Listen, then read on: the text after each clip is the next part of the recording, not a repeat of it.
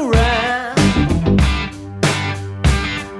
Cause oh, I can never doubt you for too long.